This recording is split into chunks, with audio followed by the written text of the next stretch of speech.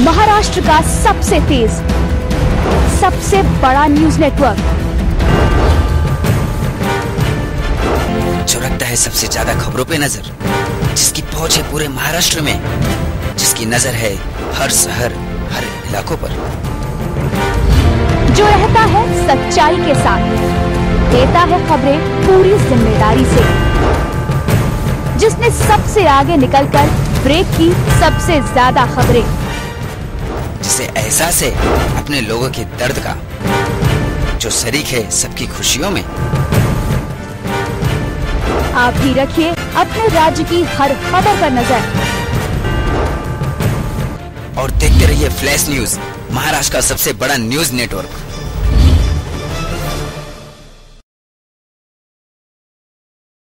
Milind Nagar Mhada colony room number चार A में रहने वाले आमिर खान नामक युवक की हत्या हुई है। यह युवक डेविड बाल सुधार गृह में था। कुछ दिनों से यह पता चल रहा था कि वहाँ के वार्डनर और लड़के उसे बहुत सता रहे थे। सताने की हद इतनी बढ़ चुकी थी कि उसे लकड़ी से और बम्बू से मारा जा रहा था। उसकी वजह से उसे राजावाड़ी हॉस्पिटल में एडमिट किया गया।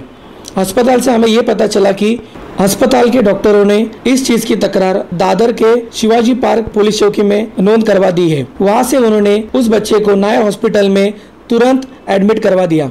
कुछ ही घंटों बाद आमिर ने अपना दम तोड़ दिया। उसके परिवारजनक और परिजनों ने बड़े पैमाने में दादर शिवाजी नगर पुलिस चौकी पे हल्ला बोल कर दिया। उनकी यह मांग थी कि जल्द से जल्द आरोपी पकड़ा जाए। इस पर जब हमने जोन फाइव के उपायुक्त श्री डॉक्टर महेश पाटिल जी से पूछा तो उन्होंने कहा, ये जो मैटर है इसमें ट्वेंटी थर्ड मे को Shivaji Nagar, Shivaji park police station को राजवाड़े हॉस्पिटल से इंटीमेशन आया था कि एक लड़का लड़के को जब वो रिमांड होम में था तब उसको मारपीट हुई करके और वो एडमिट हुआ है। On that basis Shivaji Nagar Shivaji park police station के लोग वहाँ गए। उन्होंने वो डॉक्टर के सामने और उस, उसके पिताजी के सामने वो बच्चे का स्टेटमेंट लिया। उसने दो लोगों ने उनको मारा और जो उस मारने के पीछे का जो कारण है उन्होंने बताया था कि वो जो लड़का है, जो डिसीज़ है, वो जो करीम, वहाँ जो लड़के दूसरे लोग हैं, उनको सपोर्ट नहीं करता है। इसलिए दो लड़कों ने उसको मारा, ऐसा उसने बताया था। उस आधार पर शिवाजी पार्क पुलिस स्टेशन में ट्वेंटी थर्ड मे को गुना दाखिल हुआ था और उसका इन्वेस्टिगेशन चालू था। तो इसमें ट्वेंटी एट मे को सवेरे जो डिसीज़ था, जो लड़का था विक्टिम था, उसकी डेथ हो गई। उसके बाद पुलिस ने उस गुने में 302 आईपीसी के धारा लगाई है। उसके पहले पुलिस ने वहाँ जाके कुछ इन्वेस्टिगेशन किया था। उसमें और दो लोगों के लड़कों के अलावा और दस बच्चों के नाम आए थे। उनको भी इसमें पुलिस ने आरोपी बनाया है। और आगे का जो इन्वेस्टिगेशन है वो जुवेनाइल जस्टिस बोर्ड के परमिशन से हम कर रहे हैं।